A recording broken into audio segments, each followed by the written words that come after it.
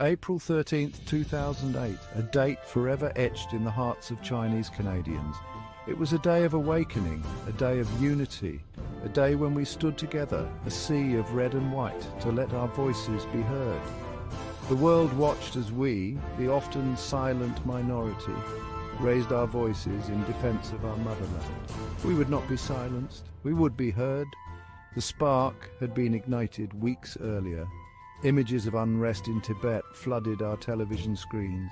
The Western media painted a picture of chaos and oppression, but something didn't feel right. The narrative felt incomplete, biased. We knew the truth.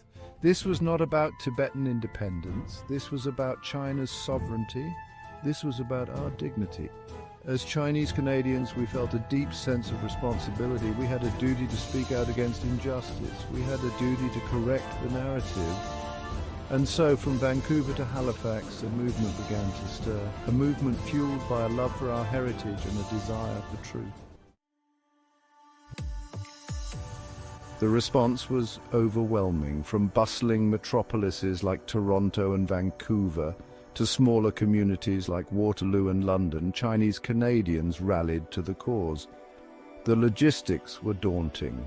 How do you mobilize thousands of people scattered across a vast country? The answer was simple through the power of shared purpose and the invisible threads that bound us together as a community. Word spread like wildfire through Chinese language newspapers, radio stations and the internet. Social media platforms, still in their infancy, became vital tools for communication and organization. Volunteers worked tirelessly, coordinating bus transportation, designing banners, and spreading the word. The energy was electric. A shared sense of purpose united us, transcending geographical boundaries and generational divides. From Halifax to Victoria, carpools were organized. Families pooled their resources to rent buses. Students skipped classes and shopkeepers closed their stores. Nothing could deter us. We were determined to make our voices heard in the nation's capital. This was not a movement orchestrated by politicians or celebrities. It was a grassroots uprising, fueled by the passion of ordinary individuals. Individuals like Wang Jiaming, a retired engineer from Montreal, who had never participated in a protest before. Driven by a deep sense of patriotism, he spent countless hours on the phone coordinating bus transportation from Montreal to Ottawa. Then there was Xu Zhonghua, a young university student from Waterloo who created a website dedicated to the rally. With limited resources and technical expertise, she single-handedly built a platform that connected thousands of Chinese Canadians, providing them with information, updates and a sense of shared purpose. These were just two of the countless unsung heroes who emerged from our community. They were not driven by fame or fortune, but by a deep love for their heritage and a desire to see justice served. Their dedication and selflessness were an inspiration to us all. Section 4, Against the Odds. The challenges were immense. Securing permits for such a large gathering was just the beginning. We faced logistical nightmares, from finding enough buses to transport participants to ensuring everyone had access to food and water. At one point, it seemed like we might not have enough buses to accommodate everyone who wanted to attend, but we refused to give up. Community leaders reached out to bus companies across the country, pleading our case. In a testament to the spirit of solidarity, many companies offered their services at reduced rates or even free of charge.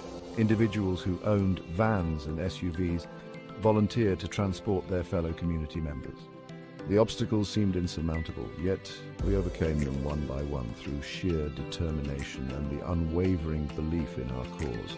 The financial burden was significant. Many participants were students or working class families, and the cost of transportation, food and accommodation was a major concern. And once again, the community came together. Donations poured in from individuals and businesses, both large and small. Every dollar contributed was a testament to the collective spirit that fueled our movement. Section 5, A Sea of Red and White. The day of the rally dawned bright and clear as we arrived in Ottawa. Buses from across the country converged on the city, their arrival greeted by cheers and applause. The atmosphere was electric. a mixture of anticipation and excitement. Looking around, I saw faces filled with a mixture of emotions, pride, determination, and a hint of defiance. We were here to make our voices heard. The rally took place on Parliament Hill, the heart of Canadian democracy.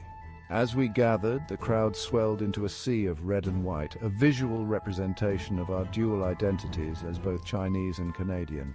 The air crackled with energy as we waited for the speeches to begin. Banners fluttered in the wind, bearing slogans like Stop Tibet Independence, Support China's Unity, and We Love Peace.